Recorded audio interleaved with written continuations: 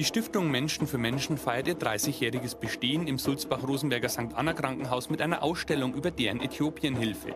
Sie besteht unter anderem aus Plakaten zum Werdegang der Stiftung und Fotografien mit Texten von Förderer Klaus Emmerich.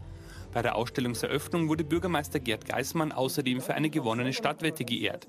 Jeder dritte Sulzbach-Rosenberger solle mindestens einen Euro an die Stiftung spenden. Insgesamt kamen dabei über 9000 Euro zusammen. Der Menschen in unseren Projektgebieten danke. Herzliche Grüße, Ihre